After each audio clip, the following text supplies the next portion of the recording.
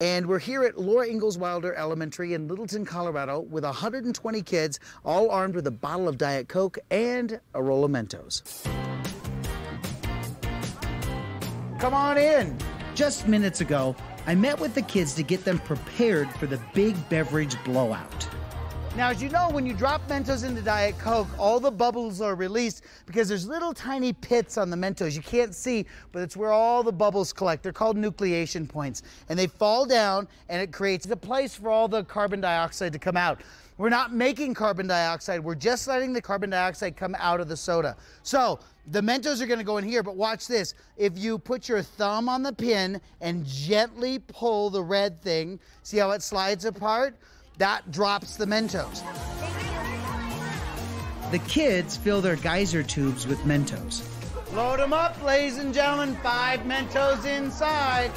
Now they'll need some protection from the rain of soda.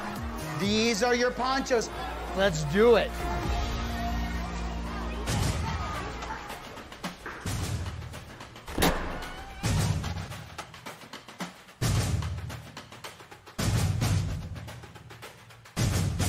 Armed and ready, we're moments away from the grand geyser event.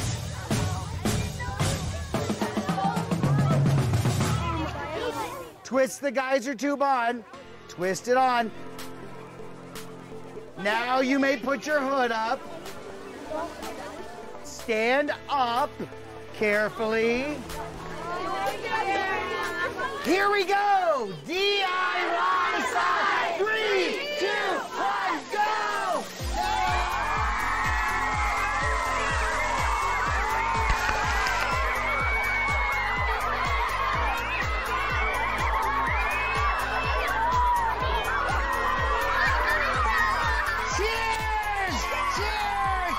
Cheers! Cheers! Take a drink! We're gonna dry off. Stick around for more DIY Sci. Three, go!